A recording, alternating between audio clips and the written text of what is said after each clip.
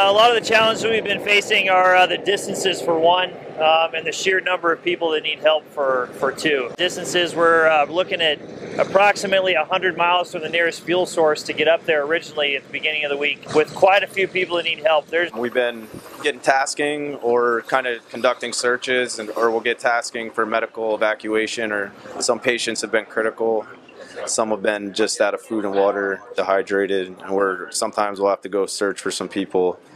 And the communities out here actually we've been been good because we've been able to get information from locals and tell us they know the people in the surrounding areas.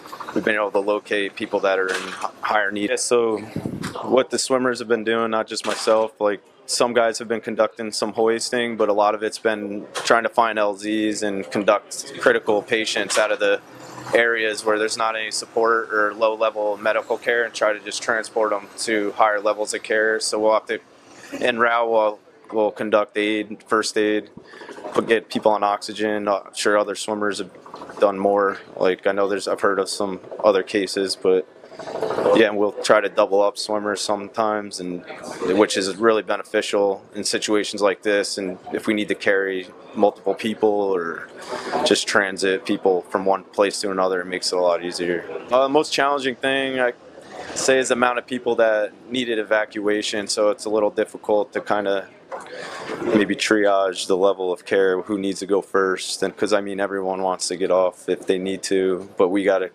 first try to get the highest level of need. There's only a couple buildings left standing in Marsh Harbor. In order to get up that far, we have a lot of fuel on board, sometimes two or uh, rescue swimmers uh, to be able to handle the load. It doesn't give, leave a whole lot of room for additional survivors. Sometimes we can get anywhere from eight to 10 people in the back of the helicopter safely. Diverted in the air for different tasking uh, based on what's the most important and most urgent at the time.